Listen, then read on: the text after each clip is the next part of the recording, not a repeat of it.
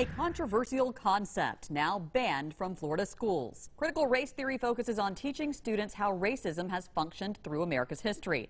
As Aaron Fields tells you, some Florida educators argue it's never been a problem or mandatory in the state's curriculum.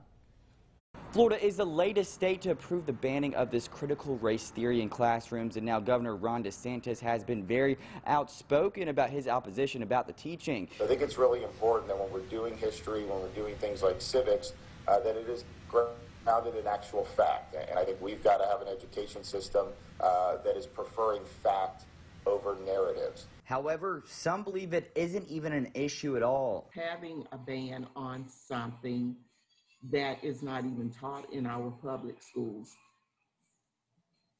it, it was not needed. Warren says let teachers teach. There will be a fear that, okay, you know, if there's a discussion in the classroom, which could lead to, to a teacher possibly being disciplined for just having their students have those open, honest discussions. Now, I did reach out to Escambia, Santa Rosa, and Okaloosa County school districts.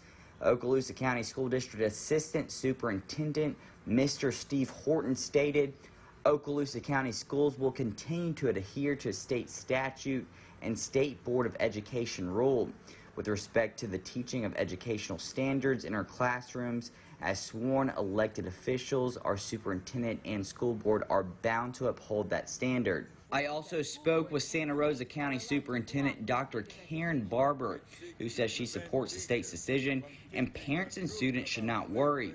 They will still be teaching the same standards, but just with more clarification.